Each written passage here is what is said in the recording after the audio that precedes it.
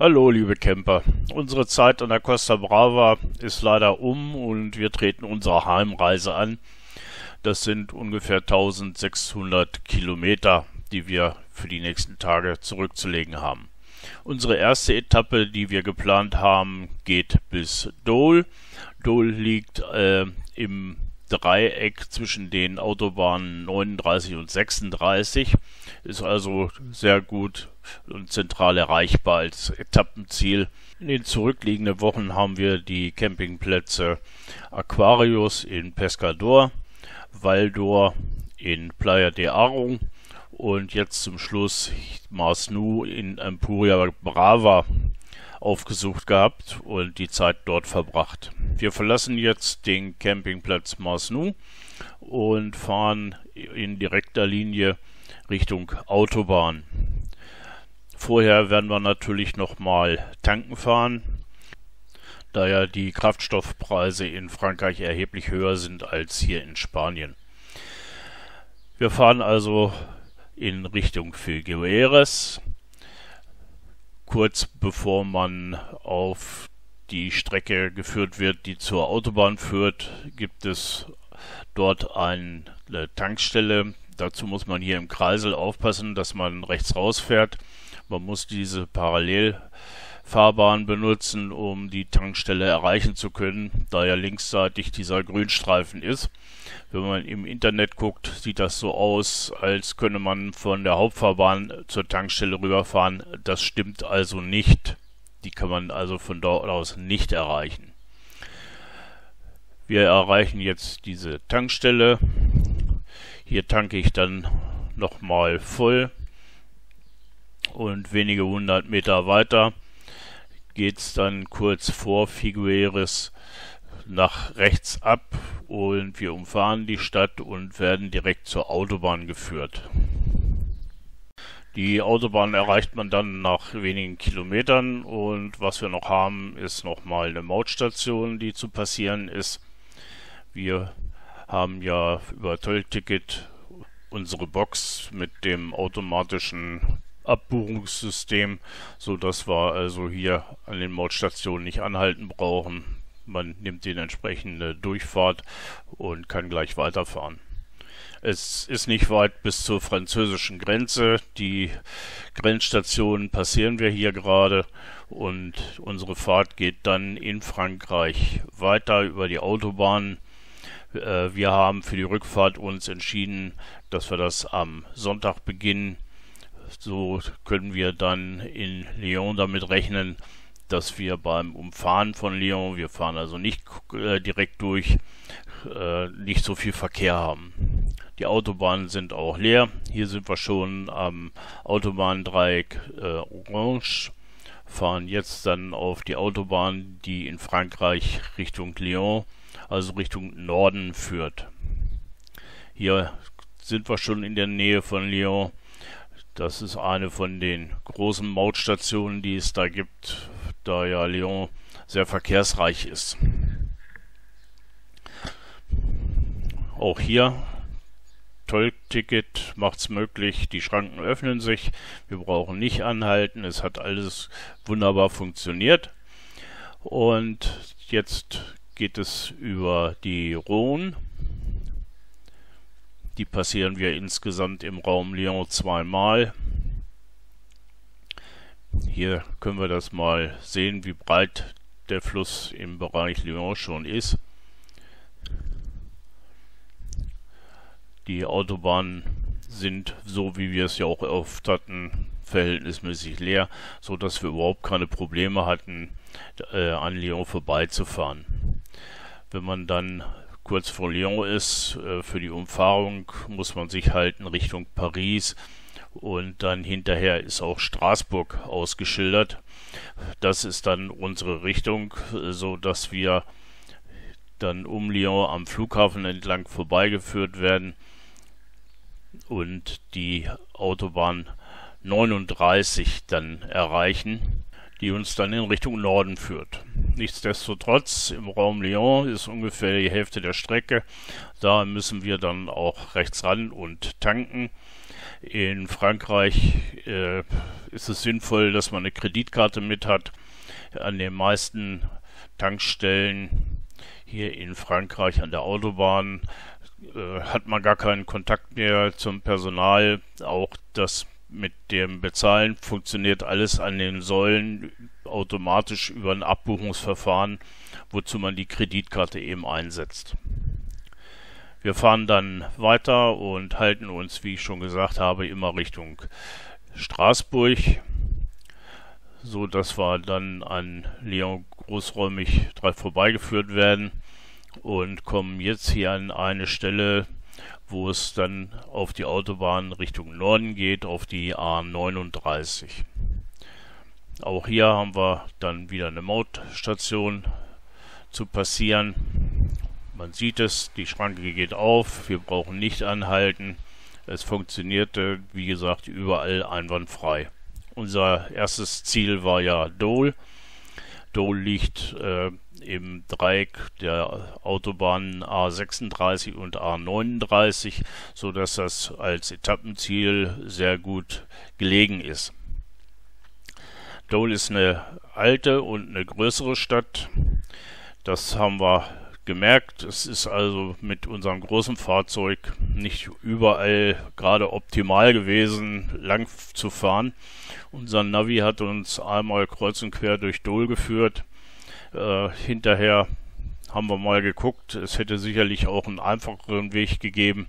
Manchmal ist es vielleicht doch besser, man guckt vorher schon mal auf die Karte, um zu wissen, wo man langkommt. Hier jetzt die Aufnahmen von der Anfahrt zu dem Stellplatz. Der Stellplatz liegt mitten im Zentrum, direkt an dem Fluss Dub. Bis wir den Stellplatz erreichen, wie gesagt, lassen wir jetzt noch mal ein paar Bilder auf uns wirken über die Beschaffenheit, äh, was bisschen problematisch für unsere hohen Fahrzeuge ist. In äh, Dole gibt es doch Strecken, wo Bäume direkt am Fahrbahnrand stehen. Da muss man dann mit seinen, wenn man hat Busspiegeln, schon mal ein bisschen aufpassen. Meist passt eigentlich das Fahrzeug nicht so richtig in diesen Fahrstreifen, der einem offiziell zur Verfügung steht. Da muss man also schon mal ein bisschen aufpassen und auch auf den Gegenverkehr achten.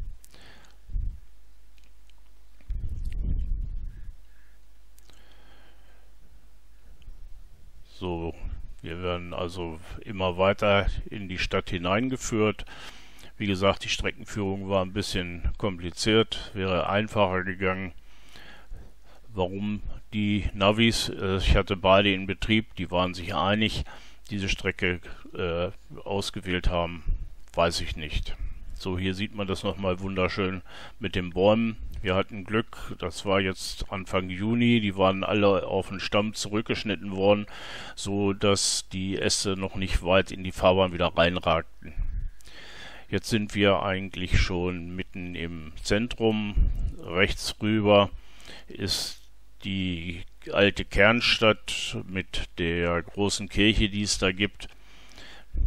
Wir fahren jetzt um so eine Art Kreisel, die es sein soll, folgen den Navis. Wir sind auch kurz vorm Ziel, das kann ich schon sagen. Hier sieht man mal wieder, äh, dass die Straßen, das ist jetzt hier eine von den Hauptverkehrsstraßen in der Stadt, dass die nicht sonderlich breit sind. In diesem Fall aber eben ausreichend. Man müsste bloß aufpassen, wenn einem der Bus entgegenkommt, dann kann es schon doch ein bisschen enge werden. So, wir überqueren jetzt auf der Brücke den Fluss Dub. Hier muss man aufpassen. Links geht es zu einem Campingplatz. Das ist nicht der Stellplatz, zu dem wir wollen. Da müssen wir also auf der Straße weiterfahren. Und hier linker Hand sieht man schon diesen Platz, der für Wohnmobile zur Verfügung steht. Es ist ein riesiger Platz, wo jede Menge Fahrzeuge draufpassen. Da ist ja auch nichts parzelliert. Es ist eigentlich mehr ein ungeregelter großer Parkplatz. Dieser Parkplatz äh, befindet sich an einem Sportzentrum.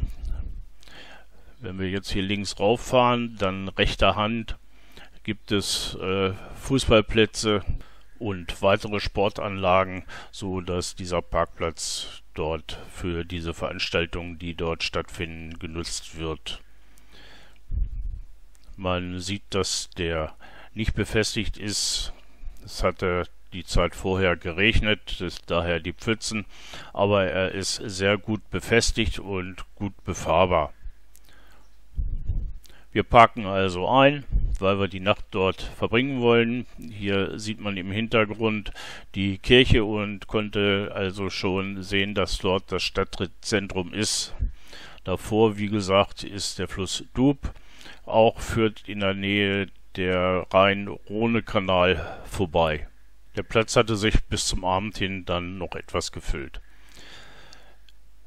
Nach unserer Übernachtung haben wir dann die nächste Etappe angetreten. Wir wollen jetzt vom Platz runterfahren. Man sieht rechts die Straße, über die wir gekommen sind. Das Navi sagt, diese Strecke müssen wir auch erstmal wieder zurückfahren. Dieses ist ehrlich gesagt ein bisschen schwierig. Man muss hier an der Ausfahrt in den Gegenverkehr hinein, da auf der Straße in Richtung rechts eine Verkehrsinsel ist. Die ist nicht zu schaffen, wenn man sich rechts einordnet. Da diese Strecke auch von Bussen in beiden Richtungen befahren wird, haben wir nochmal nachgesehen und festgestellt, man hätte also auch nach links fahren können. Das ist also unproblematisch und wäre dann gleich an der Einmündung äh, zu der Hauptverkehrsstraße wieder gekommen, die einen dann zwar etwas zurück, aber doch zur A39 bringt. Als folgsamer Kraftfahrer bin ich allerdings jetzt den beiden Navis, die sich einig waren, in der Streckenführung jetzt gefolgt. Wir fahren also so, wie wir gekommen sind, erstmal zurück. Nach der leichten Steigung kommen wir hier oben wieder zu diesem Art Kreisel. Hier fahre ich dann gleich rechts raus. Man muss auf die grünen Schilder achten mit dem Autobahnsymbol. Das ist so ein bisschen unübersichtlich gewesen an manchen Stellen in äh, Dole. Da hat man dann Schilder gehabt, rechts rum, links rum.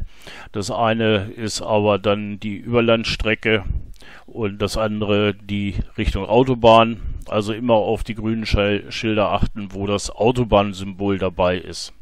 Hier sieht man das nochmal schön mit den Bäumen, was ich vorhin sagte, die dicht am Fahrbahnrand stehen. Also da muss man dann schon mal ein bisschen aufpassen. Wir fahren nicht direkt Richtung Heimat, das wäre dann gewesen über die A36 und Freiburg und in Deutschland dann die A5, A7 hoch. Wir hatten uns entschlossen, äh, als Etappenziel nochmal Koblenz aufzusuchen, so dass wir dann also zurück sind auf die A39 in Richtung Luxemburg. Wir wollten dann auch über Luxemburg fahren.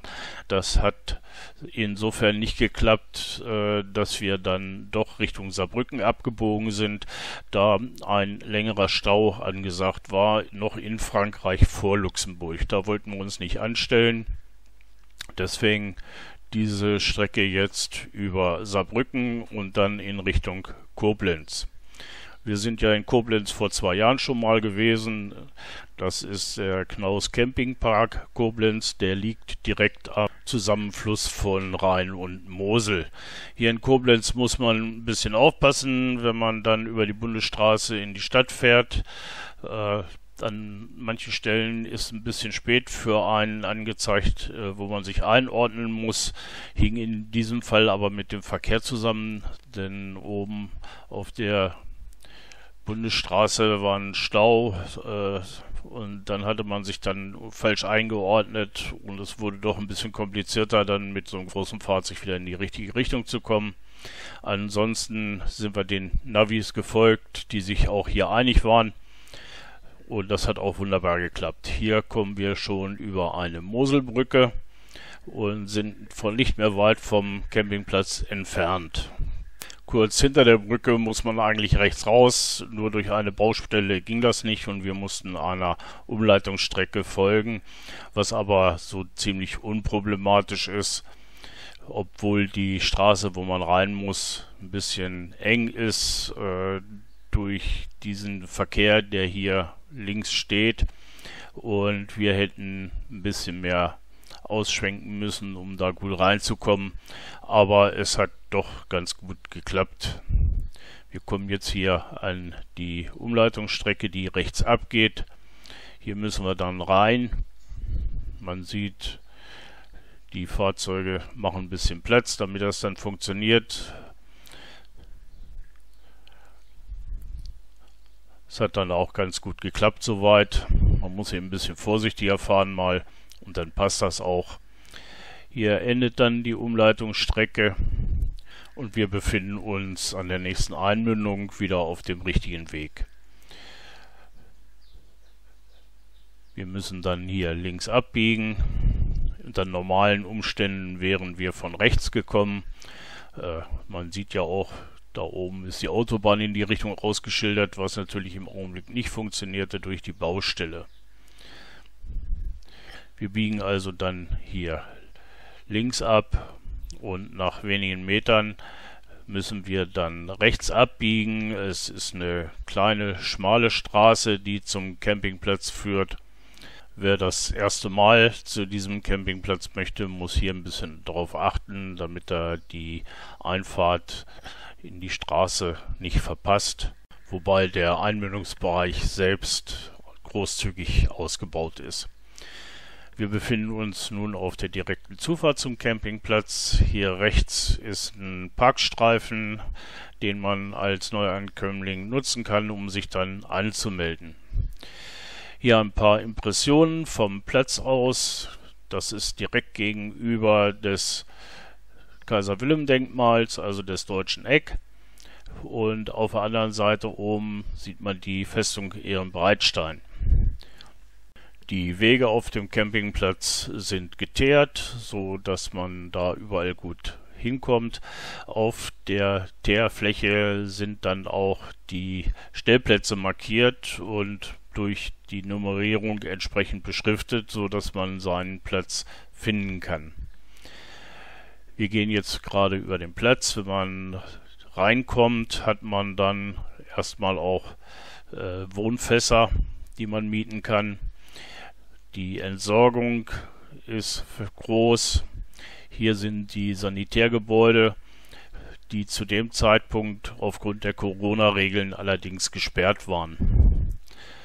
Der Campingplatz liegt im Überschwemmungsgebiet und sämtliche Gebäude sind Container, die bei Überschwemmung gesichert untergebracht werden können, und zwar auf diesen hier sichtbaren Metallgestellen, die auf dem Platz mehrfach vorhanden sind. Dieses Bild zeigt die gut anzufahrende großzügige Entsorgungsstation des Campingplatzes. Hier die Entsorgung für die Chemietoilette. Wie man sehen kann, ist auch ein Gasflaschentausch möglich. Wir nähern uns jetzt dem Eingangsbereich. Hier rechts im Bild haben wir den Restaurantbereich mit Außenfläche. Wir waren zwei Nächte auf dem Platz und waren zweimal dort essen. Das spricht vielleicht ja auch für sich. Diese Fläche ist direkt vor dem Campingplatzbereich. Wir gehen jetzt in Richtung Mosel. Wir haben wieder den Blick auf das Denkmal Deutsche Eck und ihren Breitstein kann man da oben sehen. Und linksseitig am Rand, da sind nochmal ungefähr zehn Stellplätze, die zu dem Platz gehören und meistens belegt sind. Wir bewegen uns auf eine Hütte zu. Rechts davon geht äh, eine Treppe runter und da liegt immer ein kleines Boot.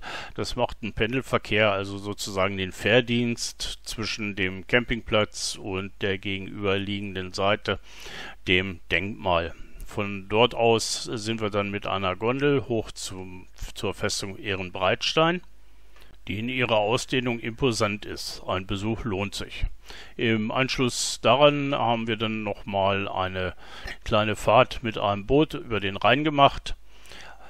Diese Aufnahmen sind jetzt vom Boot aus entstanden. Der Blick ging eben aufs Denkmal und im Hintergrund sehen wir jetzt wieder den Campingplatz.